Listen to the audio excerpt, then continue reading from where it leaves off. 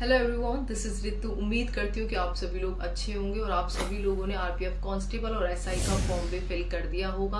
लेकिन कुछ एस्पिरेंट ऐसे हैं जिन्होंने 14 तारीख तक 14 मई तक अपना फॉर्म तो फिल कर दिया था आरपीएफ कांस्टेबल और एसआई का, लेकिन वो लोग अपनी फ़ीस सबमिट नहीं करवा पाए थे तो उनके लिए आरपीएफ ने स्पेशली एक नोटिस जारी किया मतलब ये सुनहरा मौका उन बच्चों को मिला है जो कि जाने अनजाने या फिर किसी और रीजन से अपने फॉर्म की फ़ीस सबमिट नहीं कर पाए थे।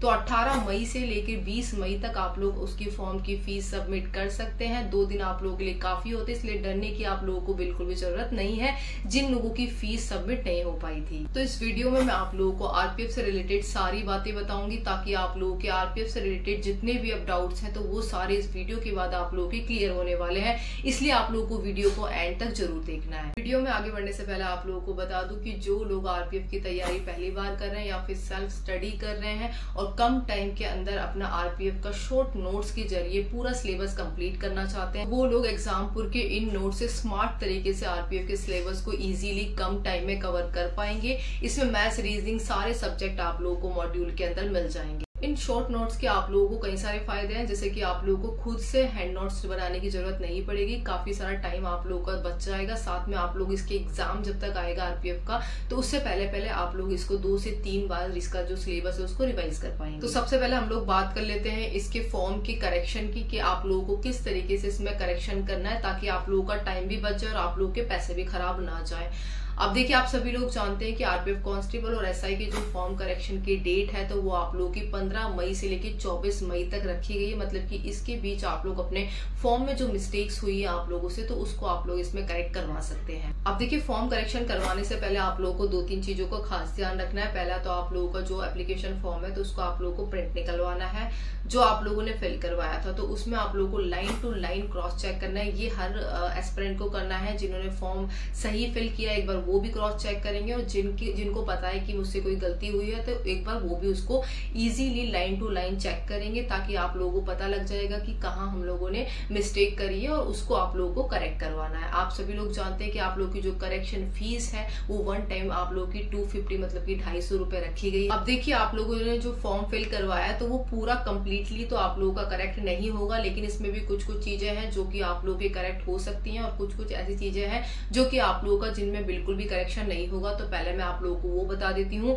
कि जिनमें आप लोगों का बिल्कुल भी करेक्शन नहीं हो सकता तो देखिए, आप लोगों का जो करेक्शन नहीं होगा तो वो आप लोगों के नाम में नहीं होगा ईमेल आईडी में आप लोगों का कोई करेक्शन नहीं होगा फ़ोन नंबर में आप लोगों का कोई भी चेंज नहीं होगा कि आप लोग चाहे कि मैं अपना ईमेल आईडी या फ़ोन नंबर गलत भर दिया था तो उसको मैं चेंज करवा लूँ तो वो आप लोगों का बिल्कुल भी ठीक नहीं होगा। साथ में आप लोगों का जो एप्लीकेशन फॉर्म है तो वो भी अब कैंसिल नहीं होगा। मतलब कि सिंपली वे में जाए तो आप लोगों का क्रिएट एन अकाउंट वाले ऑप्शन को आप लोग बिल्कुल भी चेंज नहीं कर सकते, उसमें आप लोग अपना करेक्शन नहीं करवा सकते।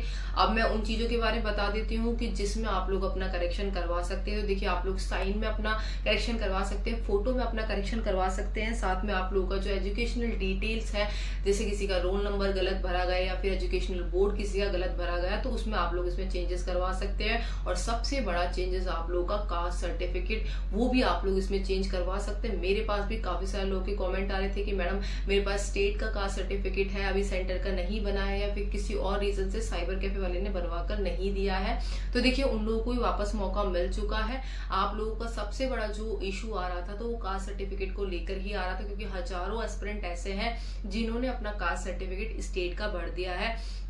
क्योंकि आप सभी लोग जानते हैं कि आप लोगों की जो ये वैकेंसी है तो ये आप लोगों की सेंटर की वैकेंसी है तो इसमें आप लोगों का जो कास्ट सर्टिफिकेट लगेगा तो वो भी आप लोगों का सेंटर का लगेगा, ना कि आप लोगों का स्टेट का लगेगा। तो इस चीज़ का आप लोगों को खास ध्यान रखना है कि जो लोग, जिन लोगों ने उस टाइम पर स्टेट का कास्ट सर्टिफिकेट लगवा दिया था तो वो लोग अब उसको सुधार सकते हैं, अब वो अपना सेंटर का कास्ट सर्टिफिकेट लगवा सकते हैं। खासकर आप लोगों का जो सबसे ज़्यादा दिक्कत आती है तो वो ईडब्ल्यू और आप लोगों के ओबीसी में आती है। क्योंकि जो ईडब्ल्यू का कास्ट सर्टिफिकेट है तो वो आप लोगों का फाइनेंशियल ईयर 2024 और 25 का मांगा गया है। मतलब कि आप लोगों का जो सेंटर का ईडब्ल्यू का कास्ट सर्टिफिकेट होता है तो उसमें ऊपर आप लोगों का फाइनेंशियल ईयर 2024 और 25 वाला ही आप लोगों का वैलिड होगा।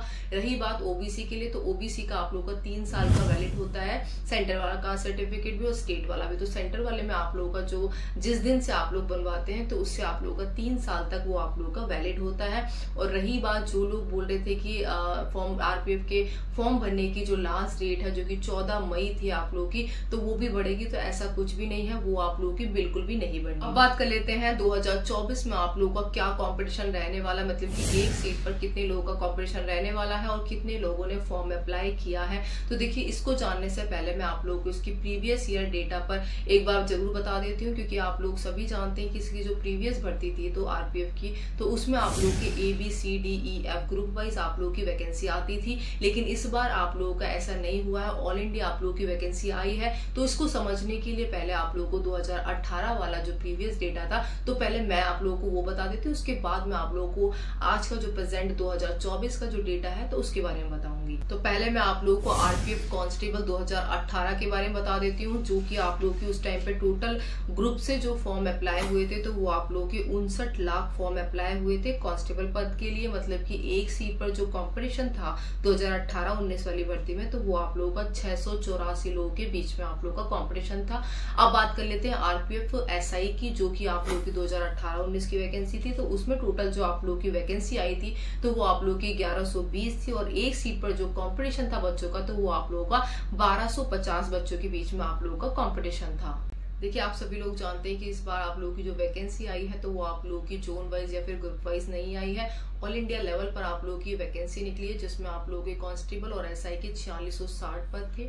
अब देखिए आप लोगों की कैटेगरी वाइज कितने फॉर्म अप्लाई हुए हैं तो इसके लिए मैंने आरटीआई ऑफिशियली आप लोगों के लिए लगा दिया ताकि एग्जैक्ट डेटा हमें कैटेगरी वाइज पता लग सके। लेकिन आ, मुझे लगता है कि 20 तारीख से पहले पहले तो इसका जवाब नहीं आएगा क्योंकि इन लोगों ने जो फ़ीस डेट है तो वो भी एक्सटेंड कर दी। मतलब कि 20 तारीख तक आप लोग इसके जो फ़ीस है तो वो भी आप लोग रिसबमिट कर सकते हैं। तो इस वजह से मुझे लगता है कि 20 तारीख तक ये लोग अपना जो आरटीआई का रिप्लाई है तो वो अभी नहीं दे पाएँगे। लेकिन कुछ लोग, मैंने देखा है कि जो कि रजिस्ट्रेशन नंबर के अकॉर्डिंग रजिस्ट्रेशन नंबर का आइडिया लगाकर ही इस बार बता रहे हैं कि आरपीएफ कांस्टेबल और एसआई के लिए 2024 में इस बार इतने फॉर्म फिल हुए हैं। लेकिन ये सब कुछ केवल आइडिया है, क्योंकि इससे पहले जो भर्ती थी तो उसमें जो रजिस्ट्रेशन नंबर होते थे तो उसको इजीली कोड करके जो आप लोगों का डेटा था तो वो बता दिया जाया करता था। लेकिन इस बार आप लोगों का रजिस्ट्रेशन नंबर के अकॉर्डिंग बताना आप लोगों का बिल्कुल इम्पॉसिबल है। इस बार आप लोगों का ऐसा कुछ भी आइडिया नहीं लग सकता। आप लोगों की रजिस्ट्रेशन नंबर से। वो मैं आप लोगों को एग्ज़ाम्पल के तौर पर समझाती हूँ। देखिए मैं आप लोगों को दो रजिस्ट्रेशन नंबर दिखाऊँगी जो की आप लोगों का डे फ़र्स्ट का है जब आप लोगों के फॉर्म आरपीएफ के बनना शुरू हुए थे मतलब की पंद्रह अप्रैल का। और एक लास्ट रजिस्ट्रेशन नंबर दिखाऊँगी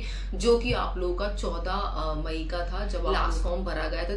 तो देखिए पहला जो रजिस्ट्रेशन है नंबर आप लोगों का तो वो है RPF zero two two four eight nine one one C और जो लास्ट रजिस्ट्रेशन नंबर है आप लोगों का चौदह मई का तो वो है आप लोगों का R P F zero zero six one seven three five nine six तो ये आप लोगों का रजिस्ट्रेशन नंबर है। इसमें आप लोगों को जो डेटा दिखाई दे रहा है आप लोगों को तो ये आप लोगों का आरपीएफ से स्टार्ट होता है।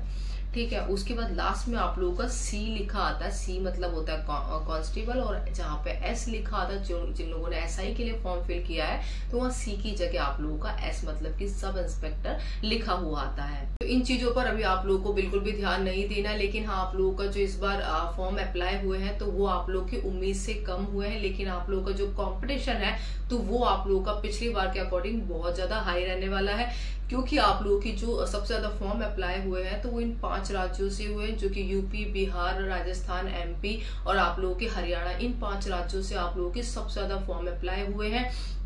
और सबसे ज़्यादा जो कंपटीशन रहने वाला है 80 परसेंट आप लोगों का यही ये जो स्टेट है तो इनमें ही आप लोगों का कंपटीशन रहने वाला है, क्योंकि जो सरकारी नौकरी का जो क्रेज है तो वो इन जो स्टेट्स है तो इनमें बहुत ज़्यादा है। बाकी जो स्टेट है, उनसे फॉर्म कम अप्लाई हुए हैं, ये बात तय है।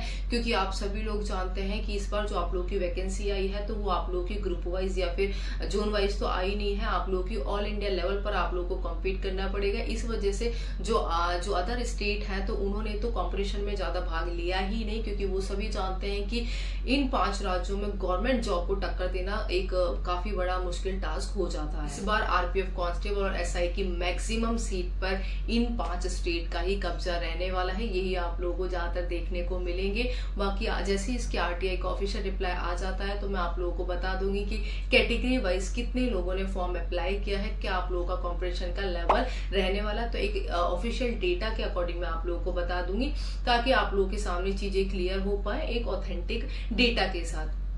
बाकी इसके रिगार्डिंग अगर आप लोगों को जो भी डाउट रह गया तो आप लोग मुझे कमेंट करके बता सकते हैं। मेडिकल इश्यूज़ जिनको होते हैं तो वो भी मुझे इंस्टाग्राम पे पर्सनली बता सकते हैं। मेरी इंस्टाग्राम आईडी और टेलीग्राम चैनल भी मैं आप लोगों को डिस्क्रिप्शन बॉक्स और कमेंट बॉक्स में पिन करवा दूँगी। इंस्टाग्राम पर भी आप लोग मुझे फॉलो कर ले, ताकि आप लोगों को सारी डिटेल वहाँ पर मिल जाए। पर्सनली जो फीमेल है मेल है, वो भी मुझसे पूछ लेते हैं। जो भी उन लोगों के डाउट होते हैं मेडिकल फ़िज़िकल या फिर स्टडी में जिनको प्रॉब्लम है तो सारी मैं सबकी रिप्लाई वहाँ पे करने की कोशिश करती